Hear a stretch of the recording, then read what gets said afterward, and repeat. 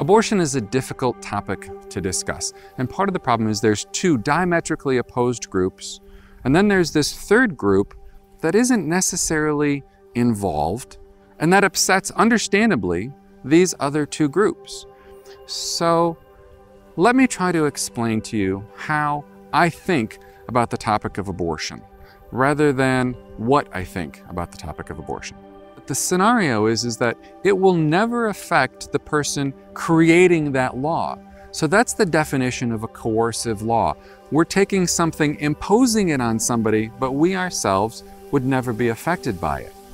That's the problem that I've got with anti-abortion laws. So let's go inside and talk about some of the data.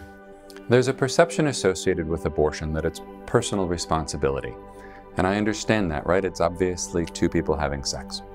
But there's a lot more to the actual statistics and data once you delve into it, and I think that's really important to understand. So let's talk data. Two statistics jump out immediately, 99% and 51%. The first number is the effectiveness of different forms of birth control. The pill is 99% effective when used properly, the patch 99%, condoms 98%, an IUD over 99%. But at any given time, there are 64 million women in America capable of getting pregnant. So the math is going to eventually catch up, and that's where 51% comes from. 51% of women seeking an abortion were using some type of birth control. While that still leaves nearly half who are not, it implies personal responsibility is certainly not the only factor. And for the 49% not using birth control, perhaps we need to consider some of the other statistics. For example, 75% of abortion patients were poor or low income, with 49% having an income of less than the federal poverty level, which is only about $16,000 for a family of two. Well, brutal poverty can certainly explain not using birth control. And lack of education is a factor. It's easy to say everyone knows about birth control, but we have repeatedly seen increases in unwanted teen pregnancies in areas where sex education has been reduced or replaced by abstinence only programs. Tell a kid they can't have something, and you'll know they'll want it all the more. Which is why 12% of abortions are for girls under the age of 18, and another 8% are 18 to 19 years old. Lastly, let's talk demographics. Aside from poverty being a huge issue, 54% of abortions are for women who are Catholic, Protestant, or evangelical Christians. It crosses all religious boundaries. And despite the cries that abortion clinics are set up to kill black babies, only 28% of abortions are for black women. 39% are white and 25% are Hispanic. It crosses all cultures. The good news is abortion numbers continue to fall, and have dropped to levels even lower than 1973 and Roe v. Wade. This is primarily associated with an overall drop in the pregnancy rate. Fewer women are getting pregnant. Also, new anti-abortion laws have not impacted the abortion rate, as studies have shown that rates have dropped in all regions of the country, regardless of new legal challenges.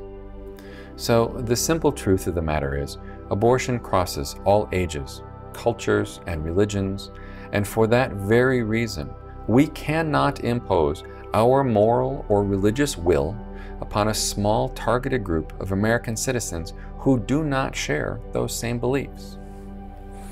So last fall, I was fortunate enough to be able to take a morals class at UWM, and we spent five solid weeks just studying abortion, the legal, philosophical, religious, and data aspects of it. It was a tremendous opportunity. I understand and respect people that are opposed to abortion, but one reading from the course really stuck with me, and it was from a Baptist minister, Roger Painter, and here's what he said. And the church's role? It is to guide in the decision-making process by doing what I'm doing, safeguarding the woman's freedom of religion to make her choice, to affirm her in her willingness to bear a child under difficult circumstances, if that is her choice, and if she decides instead to have an abortion, not to tell her what she should feel. Instead, if she feels guilt, to offer and act out the grace of God. If she feels grief, to offer and act out the comfort of God. If she feels remorse, to offer and act out the peace of God. If she feels fear, to offer and act out the love of God. Many, if not most of us, are disturbed by this issue. Maybe we can help people make wiser, more educated choices. We have that responsibility. But life being what it is, abortion decisions will always have to be made. Since there is no moral consensus or biblical mandate, we should accord women the legal, moral, and religious freedom to choose.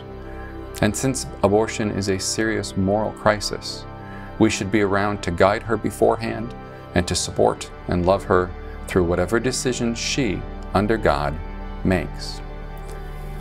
We can all agree that abortion is a tragedy, but as a politician, it is my duty to protect the rights and the liberties of citizens.